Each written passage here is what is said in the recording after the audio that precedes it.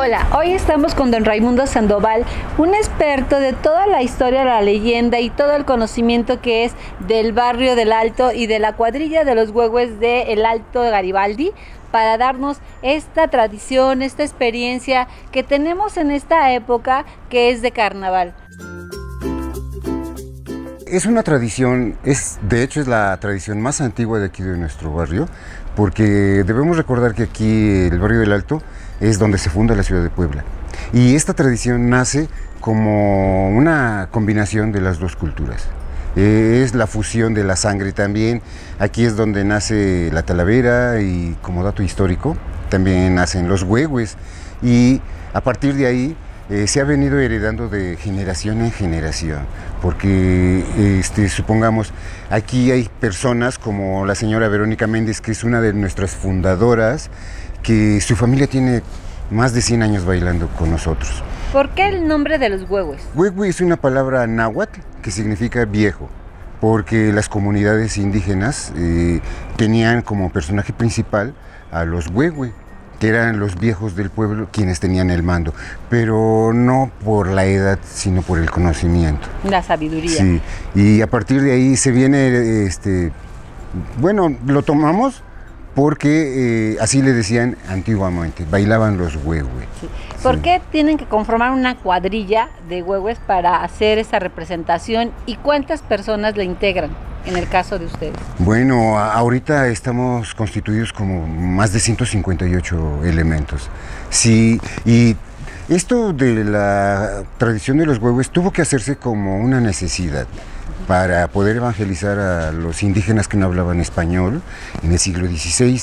Eh, también debemos recordar que cuando llegan los españoles aquí, eh, trajeron a muchos esclavos para poder construir la ciudad de Los Ángeles, que de hecho fue fundada aquí atrás de nosotros, en la capilla de Santa Elena. ¿Cuántos personajes hay en esta cuadrilla?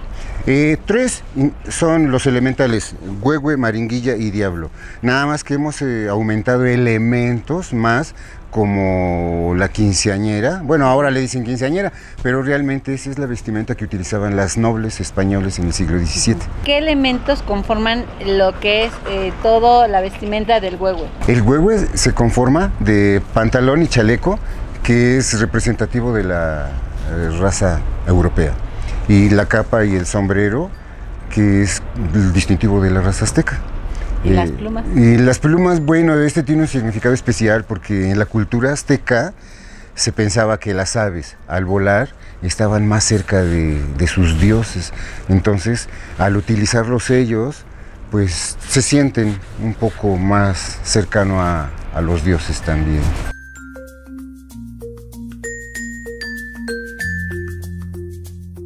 Platíquenos algo de esas máscaras que no son baratas. Hay unas que se han hecho de madera de colorín, de encino y las normales de, de madera de ocote. Lo que las distingue es los rasgos europeos.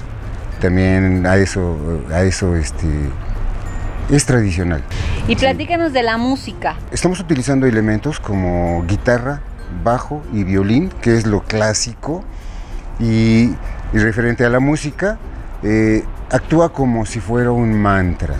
Mm, de, que se escucha y se escucha, se escucha y como nosotros traemos el carnaval en la sangre, Sí. actúa como un mantra que nos, nos impide sentir el cansancio, el hambre y, nos permite seguir bailando todo el día.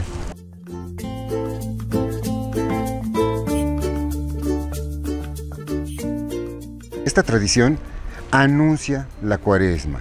Siempre es el adiós a la carne, es el adiós al pecado.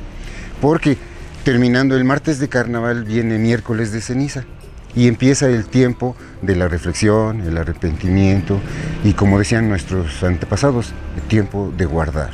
Entonces eh, se aprovecha la época de carnaval para poder este, evangelizarlos. Se crea un cuadro vivo y se funden las dos Cultura. culturas y es por eso que nace la tradición de los huehues.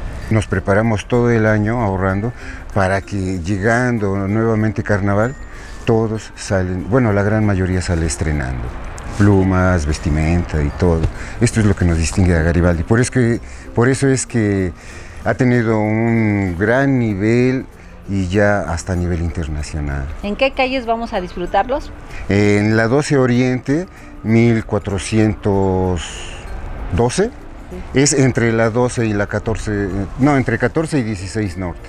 Pues miren, no nos queda más que visitarlos, verlos, disfrutarlos y mandarles un mensaje. Y pues muchas gracias, don Raimundo, y hay que venir a visitar a los huevos en el barrio del Alto Garibaldi.